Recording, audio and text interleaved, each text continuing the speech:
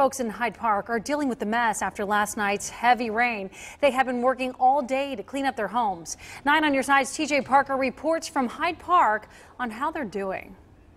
Folks here in Hyde Park say they've never seen flooding like this before. Come with me. You can see the water line on this shed just to show how high the water got. This is raw sewage.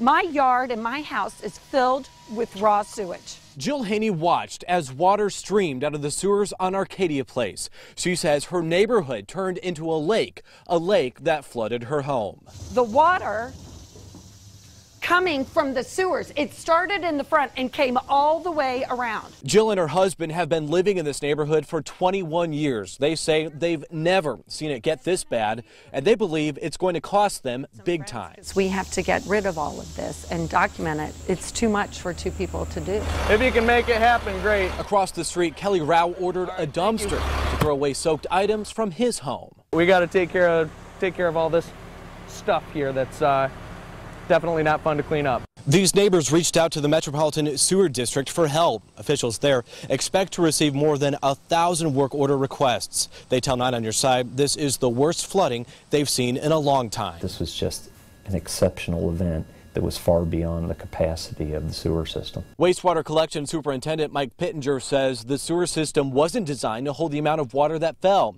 He says they're working with all their customers to straighten things out. It's overwhelming we're just, we're overwhelmed. Back in Hyde Park, people say as much of a mess as it is, neighbors are coming together to help each other out.